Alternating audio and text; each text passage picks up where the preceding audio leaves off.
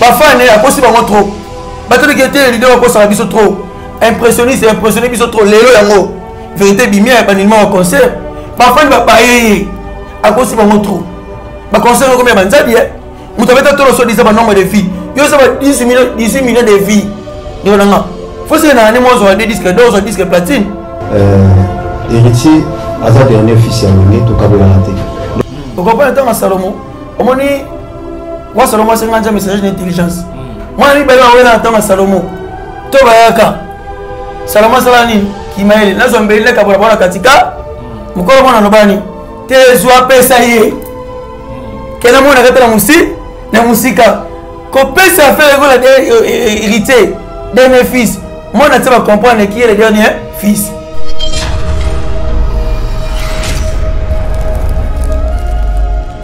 oni fer alinga héritier fer alinga héritier mingi fer apesa héritier chance ya koyemba na ye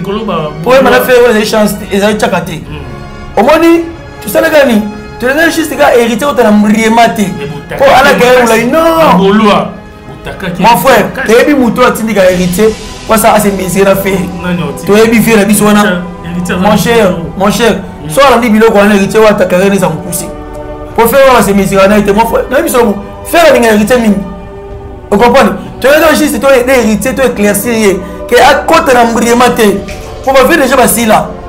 ve dejà asila nani wana se mesure na nani asalaka héritier asala héritier tia se mesure na fin eza nani te to basango te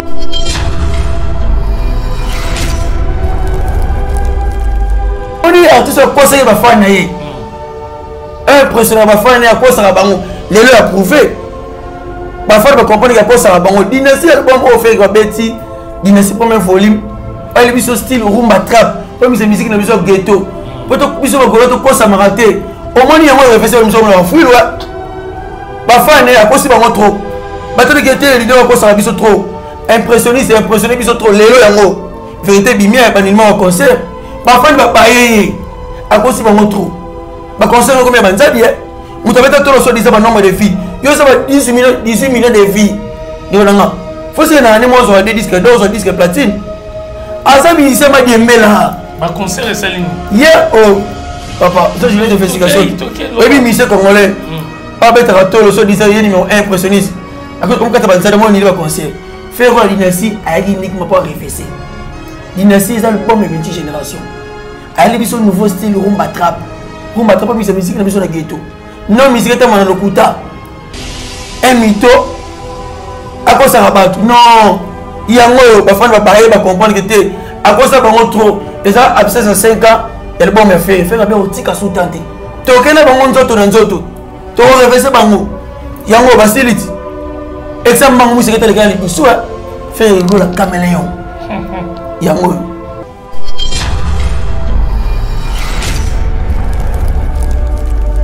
benga ferre dernier fils ezali l'exécutif jb mpiana ozalaki président wenge ocomprendre sikoyo ntango ferre kola benga dernier fils ezalaki kaka reve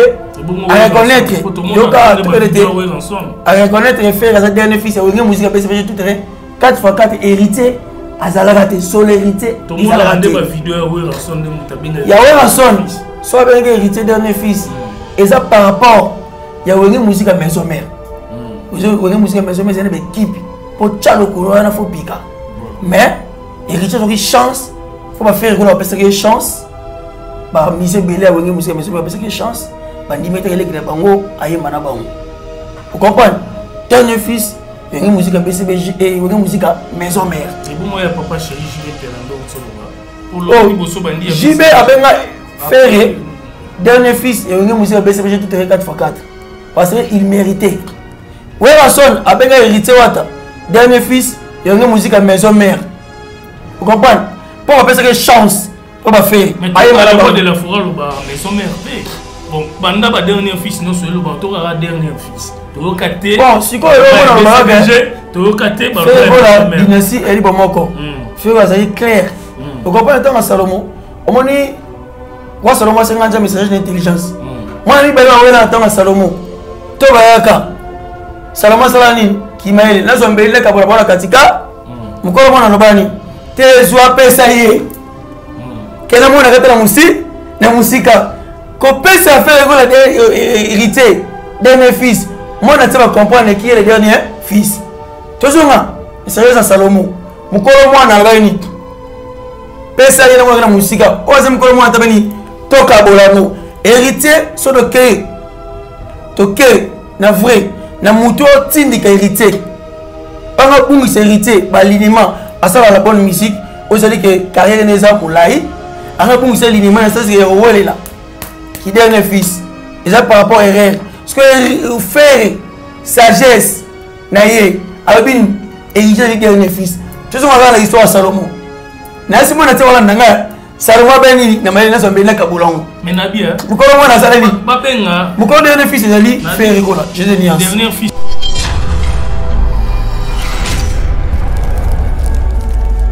oh, toyebi artiste akosala akosala na bafani na ye mo bafani babaye trop de lokuta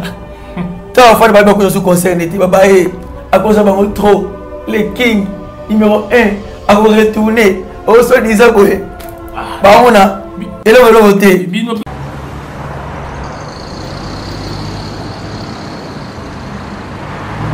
Fondation Alidor Massamba, merci.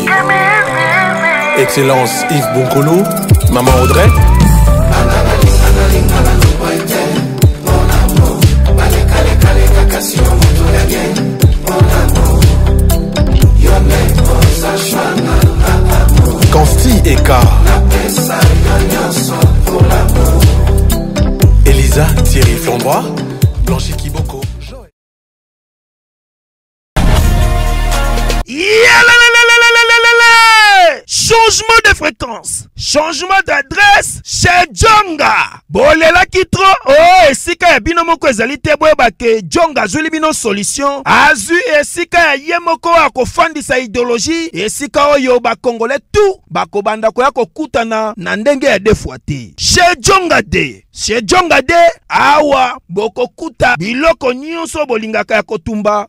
lokola ntaba ya kitoko mpe elengi, soso ya kotumba, ngulu ya kotumba, pwaso ya kotumba. Esengeli koyeba ke chez Jonga de bafongolaka kobanda mokolo ya mardi ti dimanche. Awa nde esika ambiance ezali kolala, adresse eza kaka se moko chez Jonga de. Weekend boza deja ya kosepela mpo awa ambiance elalaka awa na ndenge ya defwa te. Chaque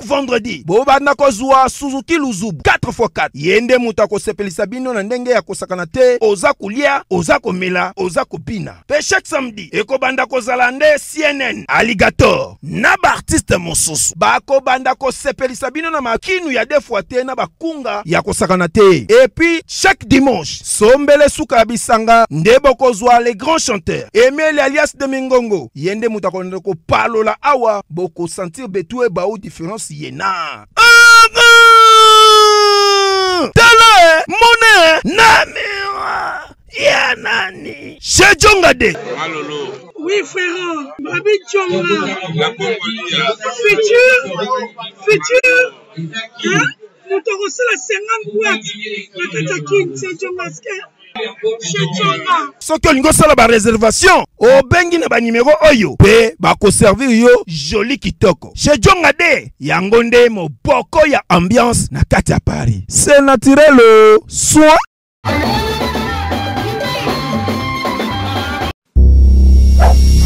yoka quadra c'est moi Kofi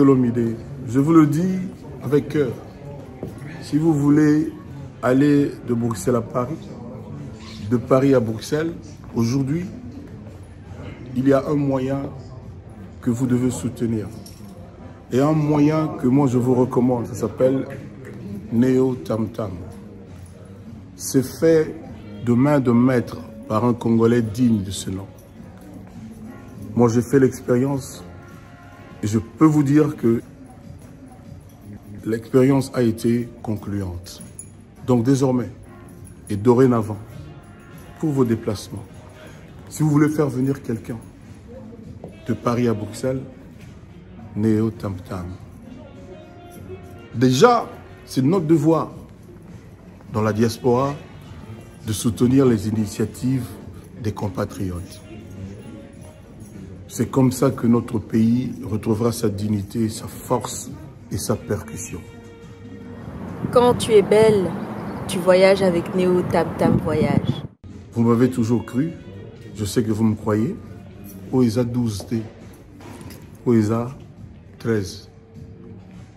Neo tam tam, nde paris bruxelles bruxelles paris que dieu vous éclaire et reste focus sur vous double king le maître de double demeure boss Moka.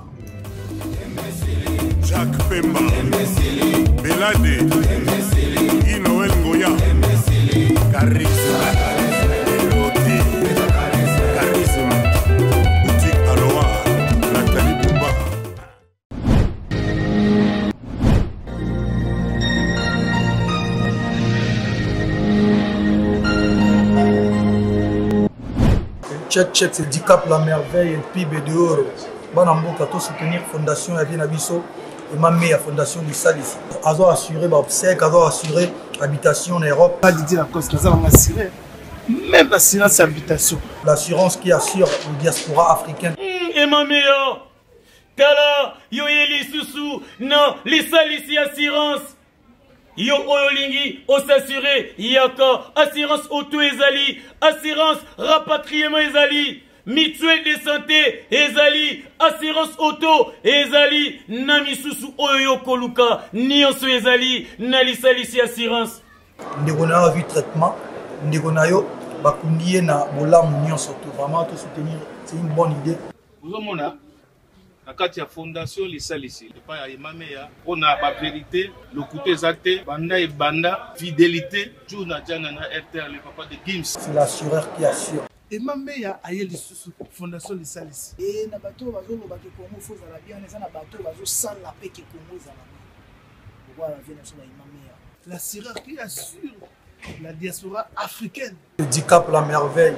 to soutenir fondation lisalisi ya vie na biso ema meya automobile na permis français permis étranger nyonso yanga nango okozwa papier ya silence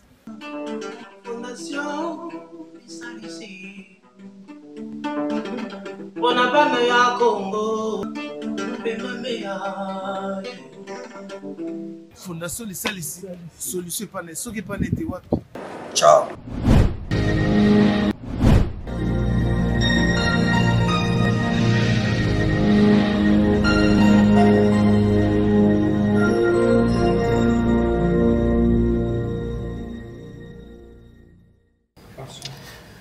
Merci vraiment na bande connu sur la biso partout dans le monde na Elengia Congo TV. Bonjour na binonios tout les Congolais de tous les partout. Obo mesana ko pesa Martin Engi double vitesse affisée confiance eh, na musala oyo nazali kosala tongo midi pourquoi pour na koluka ba actualité ko éclaircir bino surtout pour na culture ya mboka na biso République démocratique du Congo, merci vraiment euh, na Francis Way FBS, euh, balobi salon FBS na Bandal Chibangu. Donc euh, ils ont musika na station bloc obi surtout toyebi wana balobi Londres et Kwei na kati ya Kinshasa. En tout cas, félicitations Francis Way na ndenge oye kotonga kosunga mpe bana mboka baluka misala batravaille na salon fbs salon oyo eza na qualité na makambo nyonso na kati balobi londres na kinshasa na bandal chibangu donc eh, mosika te na blog salon fbs eza wana merci mpe na ladi mfumu mokonzi ya loste Eh, ladi fumu moto moko bien motema boboto motema ya mama arlette fumu balobi mama arlette fumu napesi yo bambote mama ya bana mama moko motema bien balobi tobosani te eh, mama sociale eh, mama sociale la finlandaise eh, karisha sadiki la reine napesi mpe jansia sadiki bambote place ozali jansia sadiki donc eh, balobi Eh, libala malamu kwa libala malamu soki moninga bali sepela bambote na yo nabosani mpe te eric kazanda toujours na kati ya finlande merci na junior lange paraaméricain oyo mpe atikaka euh, elenge ya congo tv te paraaméricain junior lange merci na bino tout balobi porte de la chapelle paris bruxelles solution chez jumi chimanga jumi chimanga bambote no mpe place ozali alors toza ensemble na sedu yaka mpo tolobela nanu actualité ya ferregola le padre jésus de nuance je crois patrick weston na kati ya turquie mokonzi ya turquie oyo azolanda biso toza ensemble bomonaki conférence de presse ya ferregola ndenge elekaki devant ya bajournaliste oyo bazalaki na niveau ya france esalaki biso nyonso tout bien toyoka mpe ferre gola azo s'exprime après kowuta na prison kobima na ye ayaki mpe koeclairci biso alobaki badetail ebele oyo tolandaki na conférence mais tokosola mpe yango mpo après conférence makambo ebele ezobotama kaka ezobotama kaka mpona baartiste na biso ya république démocratique du congo tokobeta lisolo ya stade de martyre ya ferre gola ndenge alobi akobeta Eh, stade de martyr faut mpe tolobela yango mpo bandeko ebele bakobeta fali aza na stade de martyr concert le 29 octobre héritier watanabe mpe eh, tour de contrôle moto na tembe ye mpe il faut abeta wenge mpe deja ebetaki toza vraiment na besoin ya baartiste na biso baévolue baprogresse babetaka mpe baplace ya minene Et ça la bien donc. Merci mesdames et messieurs. Neka na lobi toza ensemble na Cédou yaka ya ferego la ba gaulois ya ferego la le padre nde tosola na ye awa martin engi double vitesse ya fusée donc euh, toza vraiment je crois bandeko na biso déjà bazomona sedu bonjour sedu bonjour martin mongo motema madame gracia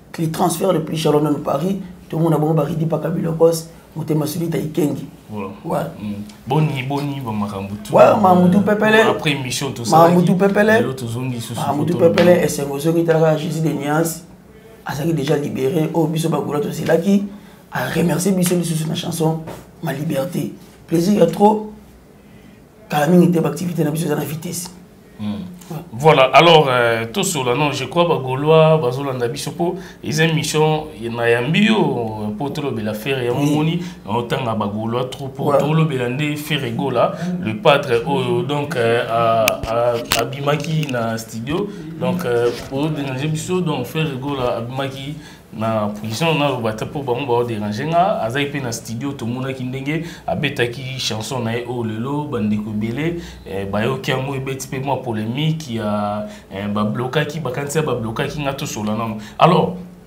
kobima fe rigola na prison chanson wana oyo abetaki mais ebeti mwa polémique ebondi polémique na bandeko na biso koto mpe baroyaume basepeli te babi eh, fali nde abetaki bloke bino boye su kobeta chanson wana bokotisi nkombo ya bloke na kati donc bamibloke bango moko omoni te ke quelque part eh, eza matumboli te oyo tozomona mpo bloke wana biso tu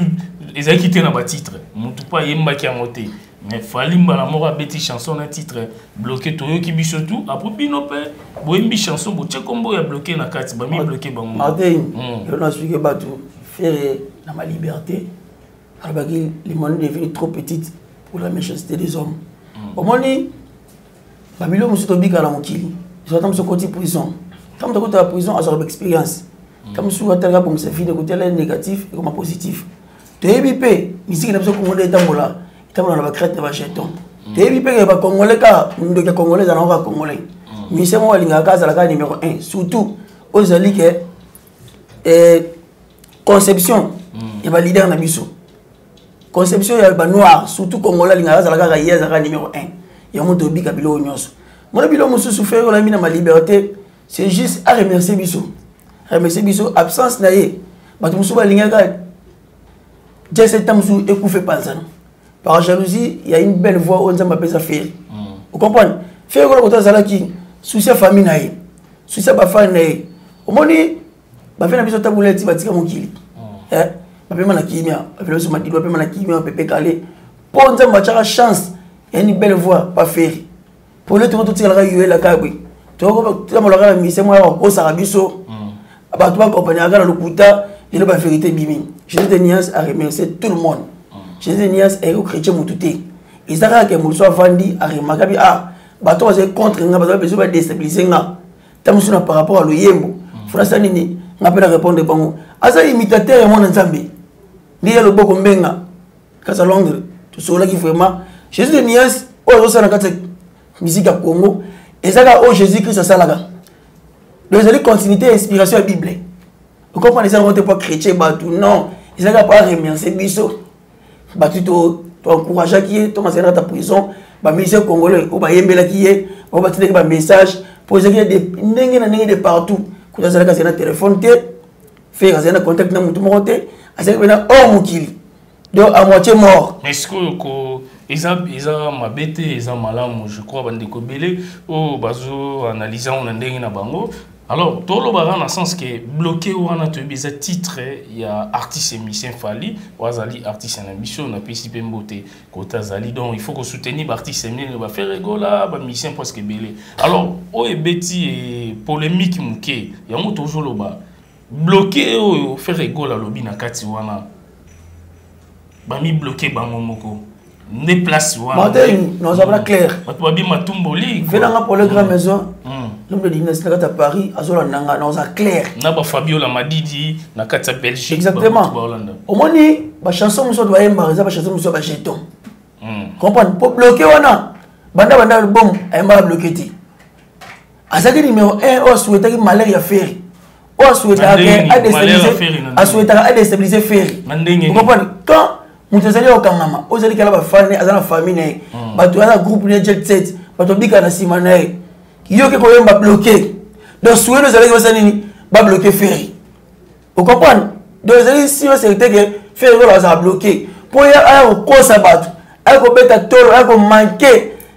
respect na bagrand oyo baporta un de plus ya musique ya congo mais jésus de nuance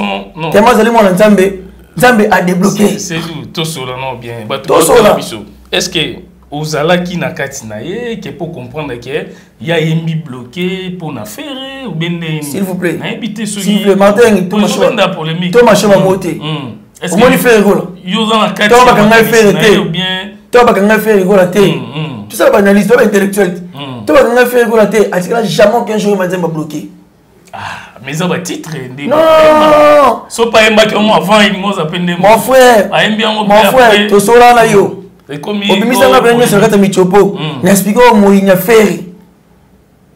oyo atalaka ye ti bafie oyo bao revivre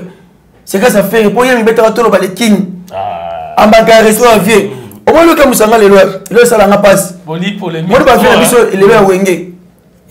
hmm. fo bazalaka fiere ozala fere mpo so fere kola azalaka te moto arepresente wenge moto abundela kiliti ya misika congo me ndeko wana mais bango batema ata liboso yeba loba sute abetaka asalaka mosala na ye kitoko bino tu bamusicien presque tu baosala boulot bien mon cher soki fela azalaka te mpo na nga nandimaka te ke musicien moko olinga bloke moto na moto aza entreprise na ye asala mosala hmm. toyende bio baza organise bino boza organise moto na moto aza le golois aza nsima hmm. kamera azolanda nga tokende bio hmm. martin ba vieux na biso ba musique ya Congo ba congolais ba beta musique ba vieux na biso ya ba musiciens congolais mm. oyo abetaka la rumba fo azalaka fier oza na feri so feri azalaka te mm. ata baferi ya biso wenge oyo mai lelo bafongola bambanga te ah, na moto abetaka to le king so disant aomake bango respectbagrand fo azalaka fier mpo feri azali mpo nini leki na bango wana amangaka bango respect mpo nini nga alingi tosolola nga naotuna mwa baquestion moko moko bavieuxfana wenge ya mandeli nini atimbela te nga na bongo te nabi tokotino na po wana te bango baza bavieux eloko ta mosusu mpe fere epa azoboya yango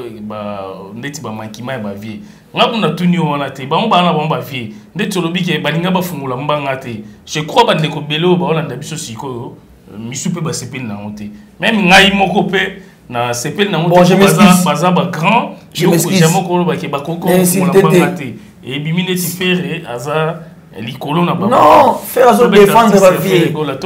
fere azo défendre ba vie fere azolinga aprotéger toujours ba vie baza na respect mm. na ba valeur mm. par rapport baoyo basala na musique ya congo dans le sens soki ye azalaki te balinga bafungola mbanga te kofungola mbanga baweranson babasibula batravaille kofungola mbanga na sens ini mm. ke ferre aza sensé par rapport à génération na ye moto ya bamanke mao respect ntango efere aza wana hmm. apesa bango barrière te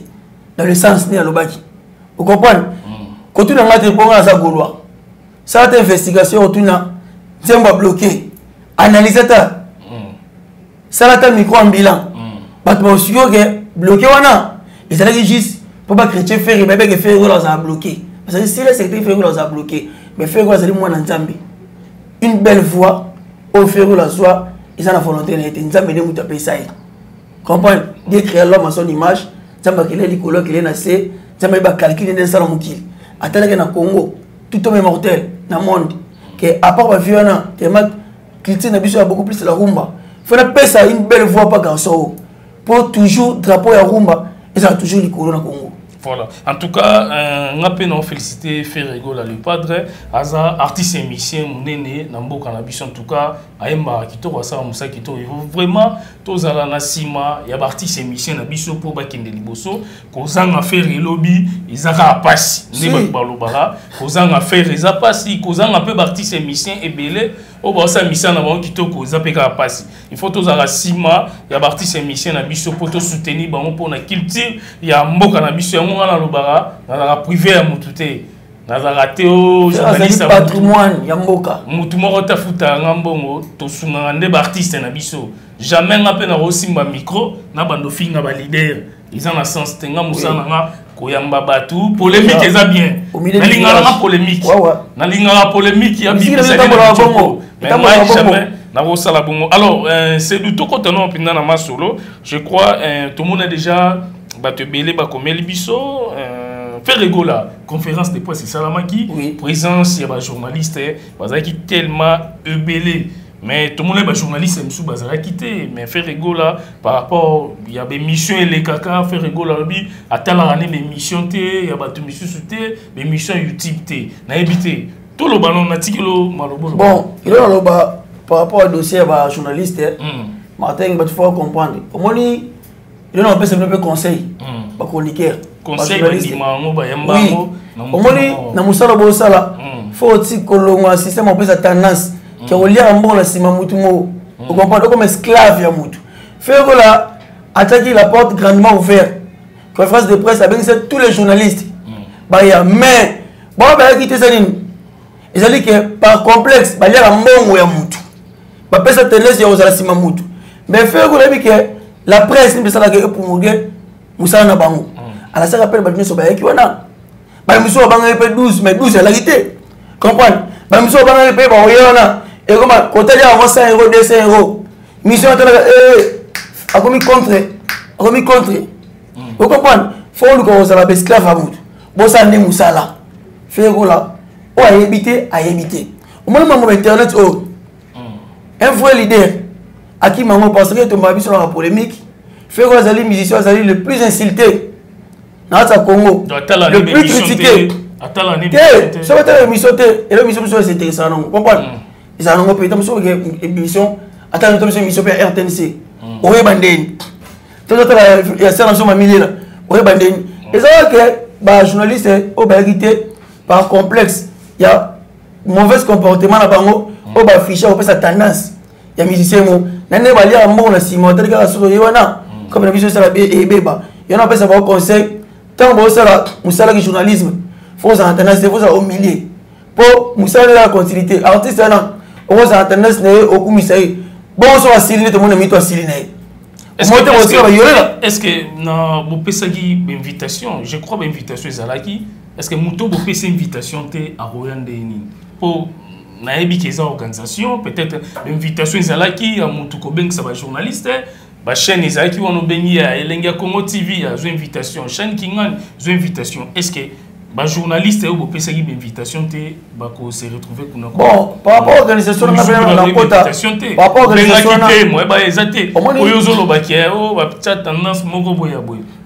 sera nanga marte mbomba na dynastie aspike nga meke mpe otuni mm. eh, concernant mambo oyo ya bainvitation nde olobi yo mm. omoni okota na kati wana te mpo ntango moto asala conférence de presse eh, ezalaka déjà annoncé mm. moto aza intéressé asani ntango chroniquer aluka information ayeba vrai histoire oyo ezali ke bato nyonso bazala ozela mwana nati ayeba fere azalaki arrete mpo na nini akosala nini akose presente soki na minute wana baboyi yo wana okobeta tolobika awa ah, te nakende kuna wasa nini babengani nga bato nyonso silvouplait bato nyonso bayaki wana to balasaka mpe la conférence de presse bato nyonso babengaki baregistre bango bapesi bango invitation donc oyo abengaki te eza par complexe bapesa tendance ya fredi moto ye bafredi de london aspike nga ah, nabengaki mpe kotuna ti par rapport to atali conférence de presse na bien fodi motole ah, koto fika lobele boye eza par rapport ni koto fika bameki koexplike nga po bango nde bazanga kati europe hmm. ocomprendre ezalaki bongo ezalaki bongo alors euh, faire egola stade de martyr mama stade oyo oh, c'est doux awa ah, oh, biso oza besoin baartiste baprogresse ah, babetaki tokoko eh, jésus de nuance le padre aza, aza, aza na niveau ya likolo quand même eza eloko okamwa te soki abeti stade de martyr mpo eh, déjà asali trop na musique quoi surtout pour la république démocratique du congo alors faire ego la stade du martyr oyo toyebi ke wenge abetaki wata alingaka anonse kala stade du martyr nde alobaki atika ye wenge ebeta nano wenge abeti fali aza na euh, artiste émission fali poupa le 29 octobre héritier watana betookadi ya badécembre lelo mpe toki fere gola makambo ya stade de martyre tomboki fort nayebi te fere gola stade de martyre oyo bagolois bagoloise baozela vraiment na motema moko arrive ya fere gola na kinshasa capitale ya république démocratique du congo mpo aprépare vraiment stade de martyre ntango fere gola alobi stade de martyre nayebi te bino bagolois ya fere gola martin concert ya stade martyr esapapa donde na kati ya dallas mm. nabelaki température ya bana dallas mm. na makoki bisununu femme crédible femme de valeur batuni nga lisolo to bande conférence de presse ya feri nde alobeli stade de mm. martyr jésus de nuance stade de martyr mpena tofandela yango tofandela yangokambo ya stade de martyr stade de martyr ya feri gola feri gola annonsaka biso bagolois tokende kosoutenir bagrand frère na ye yango nge mozika bcb je tout terrain 4 fois 4 voilà sue na biso bagolois na bato balingaka bonne musique na bato balingaka une belle voix affaire loi affaire azwa chance mm. ya enregistre te na bcb je tout terrain 4 fois 4 mm. enge ezala bosenga na bango besoin na bango présence affaire enge esala bango mwa résistance moko boye mais boyebi oyo ekomaki ocomprendre mm. beaucoup de golois bakende na stade de martyr te pour vous informer mpo nazalaki na mpasi na motema fe oyo nazalaki arete eh. soki akangi papa nyonso oza na fete eh, ata oza na invitation fete yango ezala wapi eh, oyebi ke courage okende fete ezala su te mais tellement souci nazalaki nango ke acomprendre ke absence na ngai fali nazala na stade de martir azalaki te mm. bafani na ngai ebele bagolo bakendaki stade de martir te te na basika bango bongo te fo nasepesa bango na stade de martyr nazali kada na biso bagolois na bato balinga la bonne mise omoi stade de martyr nga nakende na stade stade de martyr fekola moto mabeke ozoda stade kala fekola boyaka bariske ya bafise na stade non omoni foi ya fere omoni foi ya fere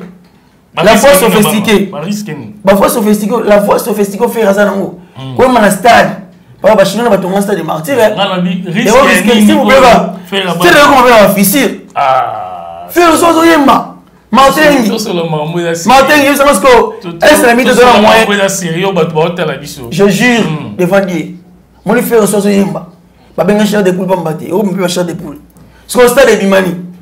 stade ekozo bafisire longolaki komedi na kati ya oh, je te dis frère oyo bato baolanda biso bamona eza sérieux alors stade de martyr ya ferre gola mais olobi ferre gola aloba kala kala te na bi alobi oka na conférence non non hmm. moni suya ferre hmm. ezala un jour beta stade de martyr amona bafini obeta stade de martyr ferre gola assista mpe na concert oyo mozika maison mais stade de martyr bato ebele bakomante balobi ah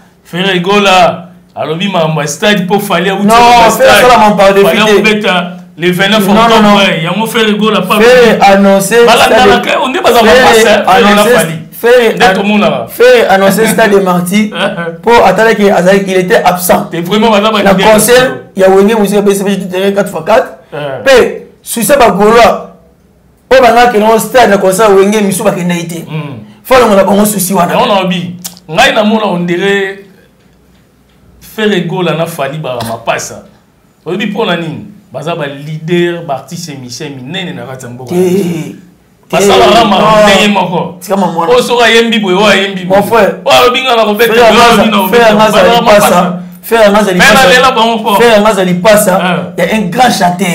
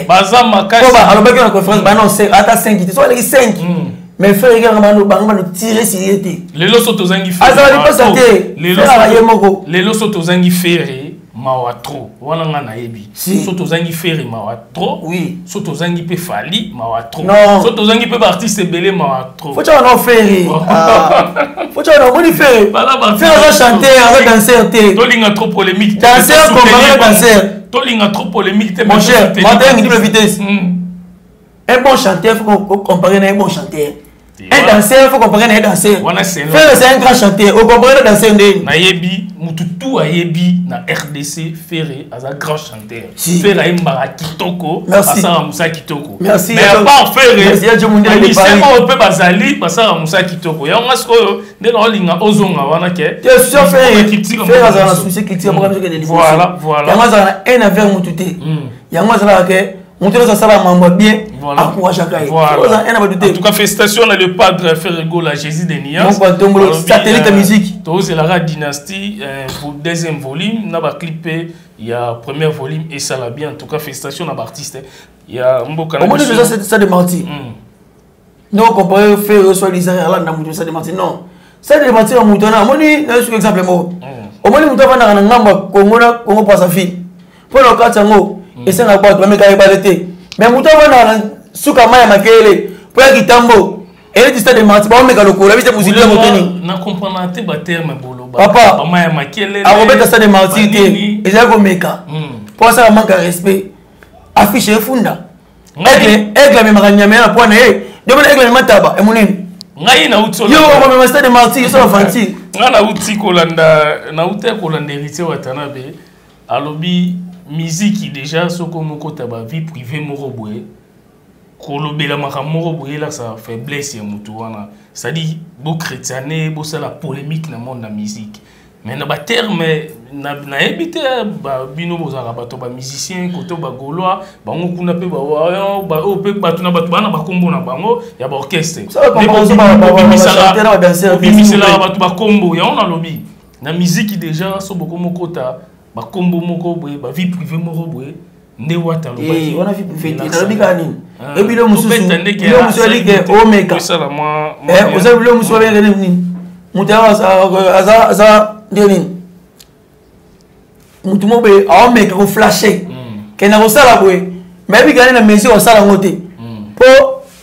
ane chanteur te monisa de marti fo ozala chanteur fo so ebima bafle ganga ebino mosu alingaka ke impressionniste alinga impressionne mpo abeta tolo soit disant mpo osala manque ya respect envers bavie oyo eza omeka eti moto akati ya mai omeka oyebi te mozindo eza yapi batya priti jusqu'à présent mais lelo par rapport ya tournée européenne tomoni apendaki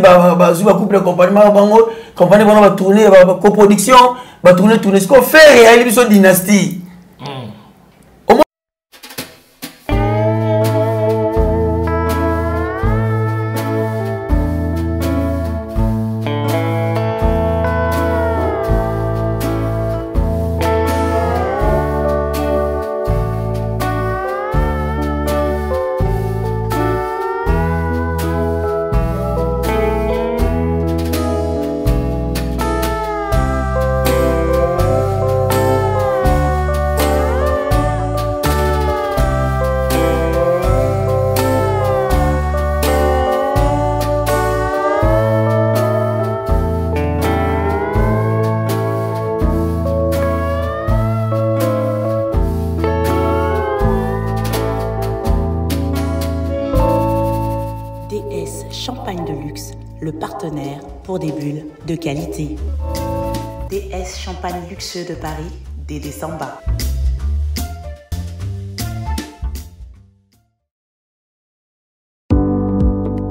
Emame, emame, emame, emame. Na wuti na kaka salle, na bibi, po mali eleke ko lati jaquette. Ndeko ya Kongo! Lelo na ville ya Kinshasa mpo na kosala ba mariage ya kitoko. Ba fête.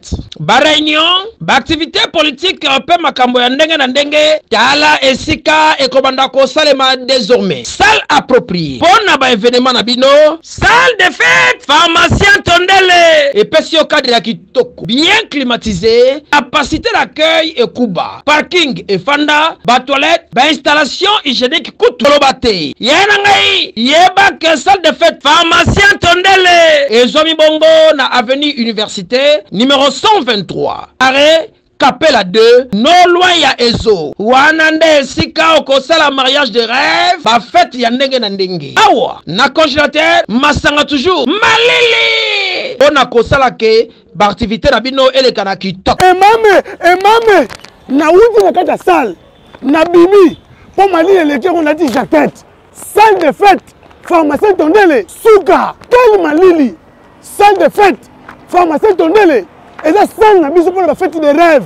ezomi na commune limete na quartier agricole non loin ya ezo yo moto osala mariage oyebika mariage esimba te okoki mpe kobandela awa na salle de fête pharmacien tondele malili owapi tala qualité ezalaka na sale oyo non c'est formidable tala parking oyo oh, somoni eza parking parking ya stade de fete pharmacie tondele sale ya qualité mais prix c'est moins cher sale ya qualité prix c'est moins cher et c'est ça la solution solution ya bato nyonso bazali basala mariage ezali salle de fete pharmacien tondele na zomi na kati mpo tozosuma nini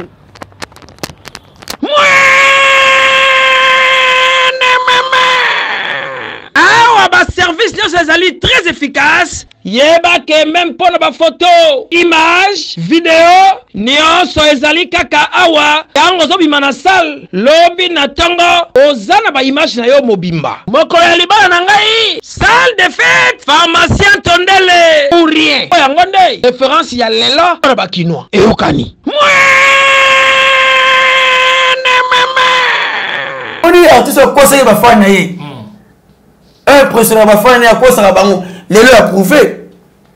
bafani bacomprendre ke akosaka bango dynastie album oyo feki babeti dynastie premier volume bayeli biso style rumba trap mpo biso miziki na biso ya ghetto mpo hmm. biso bakolo tokosamaka te omoni yango refese biso na bafuilwa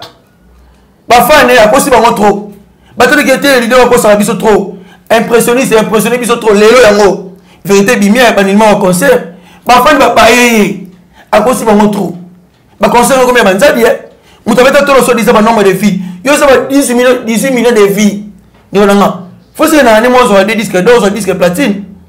aza musicien madiembela baconcert esali nini ye o papa oza journaliste de investigation oyebi musicien congolais hmm. babetaka tolo so disa ye numéro 1 impressionniste okokata banisada mwa nini baconcert ferro ya dynastie ayaki uniquement mpo arefese dynastie eza album ya multigénération ayali biso nouveau style rumba trap rumba trap amisa misiki na biso na ghetto no misiki etama na lokuta un mito akosaka bato non yango oyo bafani bapareil bacomprendre ke te akosa bango trop eza absence ya 5 ans ya liboma ya fere fere abe otika suta te tokende bango nzoto na nzoto tokorevese bango yango basiliti exame bango mosekete alekana lidusu fere elola cameleon yango oyo Voilà, alors Tolandi Ferre Gola, je crois bah bah bazo komakaka, bazo komela ngai donc euh, voilà makambo ya tourner bon vraiment déjà to to lobé non. Alors Ferre Gola na conférence wana batuni makambo ya Marc House ndenge asala la polémique na ye poto loba maloba mabete quoi. Ndenge Marc House a critiquaka polémique na ye ko tsara Ferre pe barando par rapport tant sur ba entourage à Ferre eh, baza organisé te baza bien te bango nde mutu ba dingisa Ferre gola na libulu wana pe a répondre ki yango déjà moi to kotango eza te mais par rapport ya Marc House Ferre gola tolobaka ki wangani Marc House abiye mutu atindaka ye te donc makambo wana mais boza matengi hmm. comprendre oza parent toyebi parent nyonso akobota bana 10 bana mosusu ata mosusu na moto ana comportement na ye mais ezala mwana moko alinga kosoba ezala mwana moko epai ya bamiziseekozala mwana moko hmm. aolinga te nakoma papa na ye balobaka buzoba te hmm. okomprendre ata ta biso papa apekisi ye hmm. ata papa alobi ne aolinga otika te fe ekola wanga na makauzi te ezaka nini yo osi bilo nyonso youtube fe ekola na yango ata yango te asetelisa moto basala yango na youtube wana 12 te bo ayebi na ye mais mon cher hmm. ferre azali azali un père éducateur omonaka organisation ferre omonaka ferre ola alobaka nao trop te maka uza olinga petit eleka trop pa ferre te mpo atala qualité ya ferre na savoir ferre eh, ya ferre hmm. atala ferre aza na surcharge ya bagolo na bagénération mosusu akolinga te babiloko mosusu osala bakota banini oyo ba edepasse baligne kotwa na ligne rouge non olinga yango te fakende trop direct to na mema kauzi te bato mosusu baleka ba n'importe quoi bango otouche ti vie privée ya feri maka usi akotolere yango te quand même ocomprendre akotolere yango te kim jong ayebi yango te est ce que entourage ya ferre bureau opesa mbalakisa mpe te ke ah ferre totali émission te mais quand même biso totali émission ta maka ferre gola beaucoup plus, beaucoup plus à s'intéresser mm. à l'inspiration mm. na fusion oyo ezali ke nini ekosala mpona bagénération mm. basepela nini ekosala mpona bagaulois basepela mambo ba youtube amoni interessake te mm. aza moto oyo akomi na matoi ne ntango soki makausi makausi boye te mm. mais makausi yango alingaka accepte te bato mosusu badepasaka bande alinga yango te soki oyebisaka fere osala ni fere alobaka te fere alobaka te fere ayokaka kaka trop fere alobaka te na ntina ye sikoyo akotoleraka mpe abuso bafingaka ye basala ba n'importe quoi non paka nyonso aboti di bana ezala mwana moko alinga otouche mpo etamisa koma papa na ye te mpo alinga papa ne mingi boye bamark house kim jong alingaka fere mingi donc alinga buzoba te ata fere gola apekisi ye makauza olinga te ata fere gola makambo makauza alobaka nayebi te makauza okontinue kaka mon cher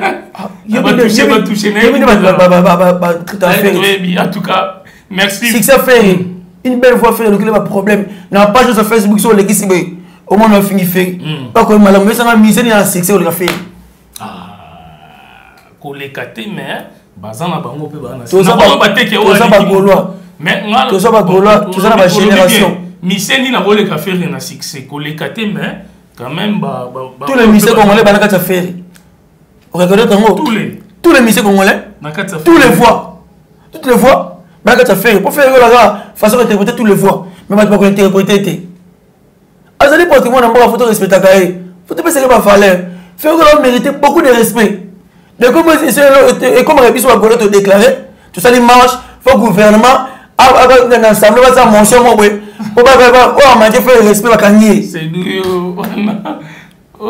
oya vrai po trop c'est trop ekomaka biso bakola to marché gouvernement ye movosa sikoyo change ya makambo oyo mpo hmm. makima eleki makima eh, eleki mpo yo osa abundela drapo ya mboka culture ya mboka culture congolaise abundela yango ezali la rumba ayebisa ti miziki na biso na geto bayiba basili nyonso lelo style ya rumba trap bazo koyiba te yango bifo baye nde koyekola ezali fierté eculture ya congo mais est ce que bokoki kokipaka mpe bango te lelo oyo nga na landa ferre rigole en tout cas a répondre ba question ya bato vraiment en tout cas félicitation na artiste na mosala osala oyo bato tout ba comprendre ferre rigole ya jésus de nuance niveau na comprendre niveau quoi ferre rigole aza artiste émission monene boko mpe kosungaka te boyoki mpe eloko moko boye ah, bobeti yango kaka mais bolobi kaka mpo bosunga artiste po boloba te ke ono oh biso tokipaka bango te yango bango bakipaka biso te so omoni bato bakipe bino na ndenge bato ya mayele bobeti mpe kara bolobeli ka fe regola po botala nanu kokende bato eh. misusu baloba bovivaka na polémique bovivaka na polémique ole boteka nini bino te asheda olenga hmm. asheda olenga hmm. asolanga mamboki esi opose ngao hmm. pome ezali omoni biso bagolo toyaka juste mpona koeclaircir bato okopona moi critique na biso bakokosaka biso te te totaka émission na biso émission de qualité ana valeur mérite ba respect ana voix sophistiqué okopona tolinga bongo te bato oyo baye boye bakotraitaka ba n'importe quoi bafingaka basala baanalyse mo ezanga motu na makolo tolinga yango te toa baba te martenge tokoloba tolinga te mpe artiste mwa ye wana tolinga mpe artiste mwa ye wana te mpo akosa hmm. peuple congolais tokolinga yango te tolai une belle voix baartiste mpe bakosaka oui oh, toyebi artiste akosaka akosa na bafani na ye mo bafani babaye trop de lokuta ta bafani bayebi akosa so concerne te babaye akosa bango trop le king numéro 1 akoretourne osodisa boye baomona eloko eloko te bino mpe tozela date biso kutu tokanisa na conférence na ferre gola oloba date ya stade martin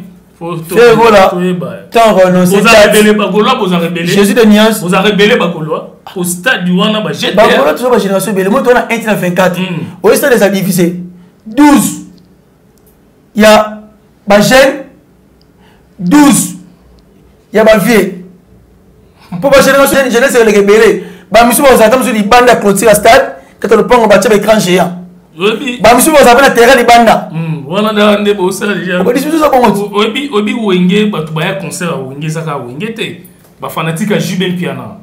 baya ya weranson baya ya dolphe ya didie masela alain makaba blaise bula ya bamanda chante eh, bana oke bango tu baya tolongwe kota zaiko baya bato ya bozi baya bagolois boya bawayo ba, ba mpe ya fali mpe misusu bayaki bato ya quartier latin bayaki donc bato bayaki ebele batala na baoyo balingaki concert ezala te batala ke concert ekobetama ndenge nini aye na ekolanda na concert aye kaka kotala ani fanatike ya wenge te mais aza fanatike orchestre bato ya la team wata bazalaki bato presque ebele bazalaki mais oyo ya bino bozalaka bagolois obie bato fali baozala ndenge niniferre aza na multigénération aza na multigénération to tobosana te tous les musées congolais bana kati ya ferre hmm. ferre deux ans ekomaka biso kazaka te ya ferre azaka ya bagolois tekotondisa stade de martirdefaut eza nini hmm. tobanga barisque ya stade mpo alinga na biso obanga risque ah. omoni ferre ya multigénération isanso kotoya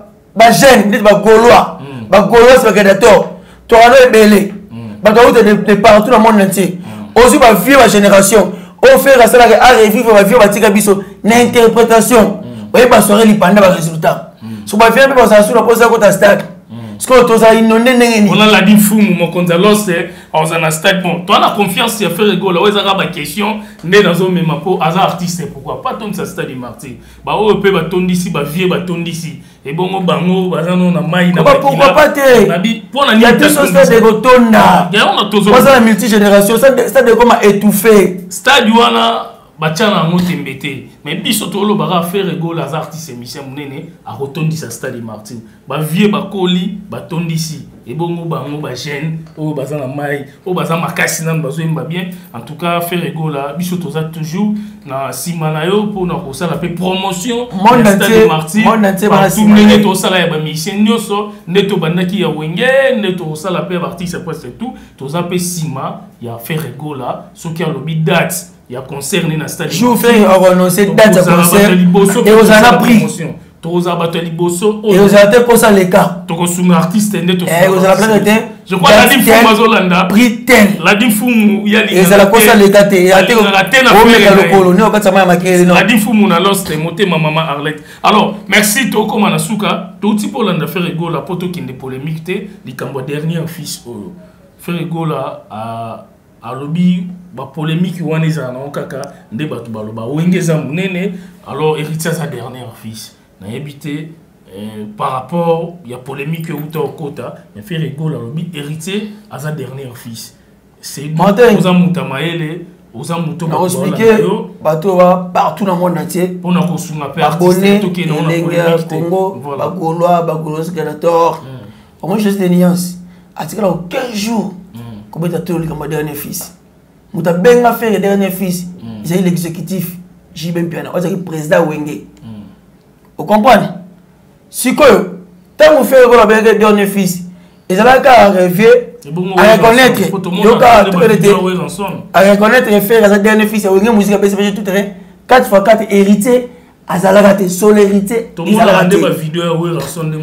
ya werason so abengaki héritier dernier fils hmm. eza par rapport ya wenge musika maison mère hmm. wenge musika maison mère eza na baekipe mpo tya lokolo wana fo pika mais héritier azwaki chance mpo bafere kuna bapesaki ye chance bamise ebele ya wenge musika maison mère bapesaki ye chance bandimi etaki elekela bango ayemba na bango vous comprenez ton et fils yenge muzika bcbg e yenge muzika maison mère ebongo ya papa chéri jb mperando utoloba jb abenga fere dernier fils yenge muzika bcbg tout ere 4 fois 4 parce que il méritait werason abenga héritier wata dernier fils yenge muzika maison mère okomprendre mpo bapesaki chance mpo baferi aye malamu de la foura loba maison mère te bon banda ba dernier fils nyonso eloba tokaka dernier fils toyoka te bon sikoyo eloko nalobaka toyoka te balola dynastie eli bomoko hmm. feo azali claire hmm. okompana ntango ya salomo omoni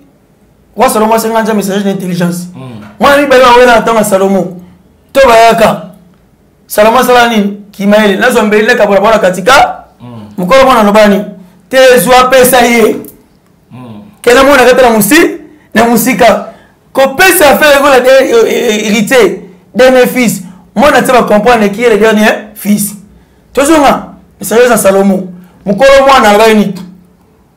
pesa ye nango na mosika oyo aza mokolo mwana tabani tokabola yango héritier soki okei toke na vrai na moto oyo tindika héritier banga bungisa héritier balinema asala la bonne musique oyo ezali ke carrière ne eza molai anga bungisa linema na sasike ya kowelela kiderne fils eza par rapport erreur ce que faire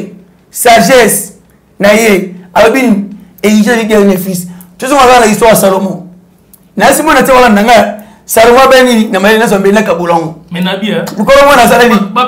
mokolo dernier fils ezali frère ekola jese niance dernier fils wana eza koyemba te eza koteka diske te eza kobakisa mbongo te eza komisalama mpe te eza nasi soloba dernier fils wana eza kozala na succès te eza koteka album te eza koyemba kitoko te eza kobakisa mbongo te eza te basi balanda yo ekobakisa lupango te eza kaka juste nde tolobaka dernière fils lelo nakomi comprendre te pourquoi eh, ekomi ntina baniveau ya boye ah, tandis que il faut tosoutenir baartiste na baœuvre ono baza nango nde bazoprépare studio est ce que bokobeta karate mpo na yango oh, mais je te dis ezalaki mm. clair abi te héritier alidi ane fils na yo tokabolawa te ngai ezongisi bato kaka bacomprendre kaka histoire ya salomo bawelaka mwana héritier na frère egola relation eza bien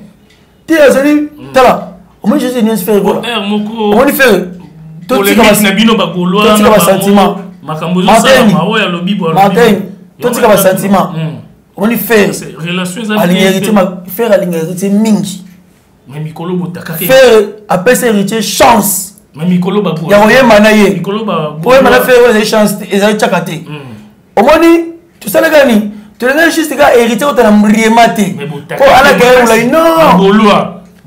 mon frère toyebi moto atindika héritier po asa ase mesure na feri toyebi vie na biso wana mon cher mon cher mm. so alandi biloko wana héritier oyo atakare neza mokuse po feri wana ase mesure na ye te mon frère nayebi solo feri alinga héritier mingi o comprendre toyaka juste to aide héritier to éclaircir ye ke akota na mbriema te mpo bave déjà basila ve déjà asila nana aka se mesure na nana asalaka héritier asala héritier atya se mesure na fin eza nani te to basango te musique eza église te nayebi nalingi ah. respect na bavie omoni biloko oyo respect réciproque bato yango baoloba nini okotisa artiste respect ya réciproque oza gaulois mais respect na bavie yo oza musicien te jésus de niance yo oza na musicien biso ferre ayaki bavoice moi ferre ayaka kodimine rien tolinga badimine ferre te malembe nga nakangi kaka place wana ntango oloba na bavie basila yo oza na musicien te ferre ayebi mpasi ya miziki nde ezali oui ayebi mpasi ayebi mpe mpasi ya rankine nde ezali lelo na omona fere gola tolanda baimage oyo fere gola aloba na kofi na ndenge moko batutu bayebi tolanda mpe baimage oyo euta mpe na quartier laton baloba mpe na fere batutu nde bayebi babiso kutu toyeba eke fere gola na kofi baosolaka te me lelo nzambe alalaka te basololi mpasi ya rankine toyebaka te jour esila maloba ezalaka bien obimisi tolandi bien kasi maloba ezalaka bien yo obimisa na yo bavie héritier o oh, nani rankine esa nini ezobota ntango ezobota jour esilaka toyebaka te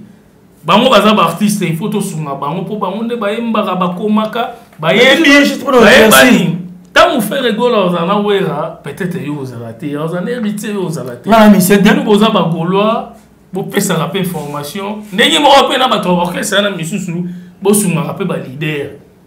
mpo batambola bien donc wana ezaka juste conseil na opesa tolinga te bamona fere mabe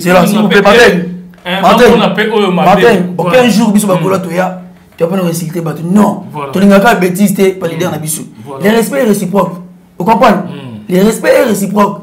tokosamaka te respect réciproque soki oyo obungela fere biso tosala charge noko fere alobaka trop te mpo otalaka yo okotisa mbuyema na lidere na biso ozali ke azali concentré respire ndenge nini akosepelisa bagénération ndenge nini akosepelisa bagolois tokolinga yango te mpo fere alobaka te biso toza sanse wana mpona koloba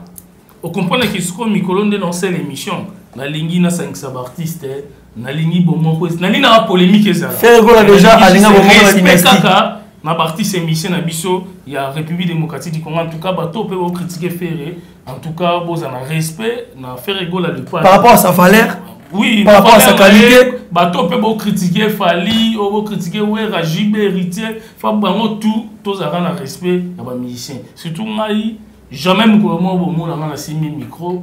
na manke leader moko nafinga ye te nga nalingaka polémique omoi nde tosala polémique oyo esalaka nga bien nakosi polémique esala bien mais toyeba mpe kosunga mpo esala bien je crois ladi mfumu azolanda biso motema ya mama arlette mfumu merci mpe na karisha saduke la finlandaise la reine napesi yo bambote place ozali junior lange est ce que nalobi mabe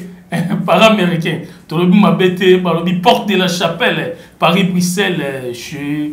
jimi cimanga patron des patrons bambote na yo ser na nga moko fabiola madidi na kati ya belgique francis wey balobi londres ekwei na kinshasa na cibangu wana mosika te na euh, station na bloc wana balobi salon fbs kota kuna tala bamashine tala bapareil qualité balobi biloko euti londres eyi eh, kinshasa awa donc eh, salon de coiffure boya bafille bagarçon boya mpenza bosepela na fbs salon moko oyo bokozala desi te alors mwa bambote na numero ya telefone wa numero wana ezali plus 243 90 61 81 205 na kosala kaka merci bandeko nyonso balanda biso na kati ya elenge congo tv golokulosgadator na kopesa merci na jet set dg blaise polo jikasa eza mbatrisi eleza dg na biso le plus compétent à gérer vraiment moral ya bagaulois mosala elakisaki mpena ke fer oyo azalaka très bien entouré très bien organisé nakoza te kopesa mbote na venanga gaston jenda agence gpx kati ya londres venanga jalo makabo le producteur agence john max service nakobosana te kopesa mbote na ya John Mondela de Paris, Marthe Mbomba na dynastie, Mabele Kalunda, Blaise Kosi de Paris, Yula Jamba, les sénateurs français, Kajo Malwa, Bambote Neo, Gabin Okito Bambote Neo, Eric Bile, na kati ya Saint-Etienne, tono mona bongo, mm. Junior Fumu directement na kati ya Saint-Etienne. Na pesi mbote na Yannick Dilema, Christian Mayala, la Colombie, Jeannot Mayamba de Paris. Mbote na Maître Waza le suprême, mbote na Mama Roki Bizimungu, papa dodo na dallas babenge température ya bana dallas mm. bambote napesi mbote na mama nete la gabonaise mama jolie kwete mama jeanne ndoki mama na biso odeti bambe femme d'affaire le pdg de tous les pdg costa couleur toza na soirée na biso ya mm.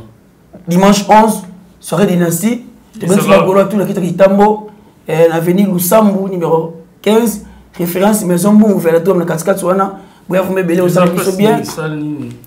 eh,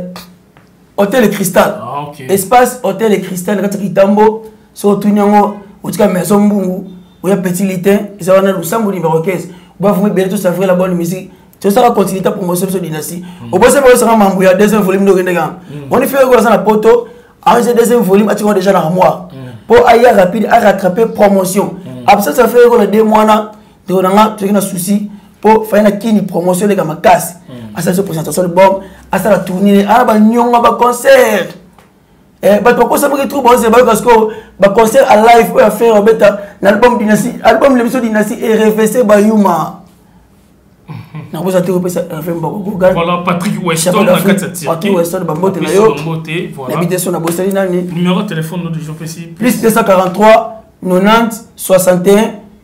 81 205 ya loboko mbenga colette la maison na kati ya paris l'homme de dynastie eh, arthur mongo le transport le plus cher london paris voilà Mot. merci merci mesdames et messieurs voilà martin engi double vitesse affiché voilà donc euh, tozalaki ensemble na sedu yaka po tolobela Ferre Gola le padre tozela vraiment événement oyo soki eye na Kinshasa ya stade Martyr ekozala esengo mpo na bagolois bagolois il faut vraiment koaffronter mpenza baplace ya minene mpo Ferre Gola aza artiste émission monene ya mboka na biso oyo abeta beta azobeta il faut babeta stade Martyr tokozala wana so mpo alobi date biso toza wana mpo na kosunga kaka baartiste mpo na kosala promotion na bango nyonso nde tomesana ya kolobela baartiste nyonso merci bozala vraiment branche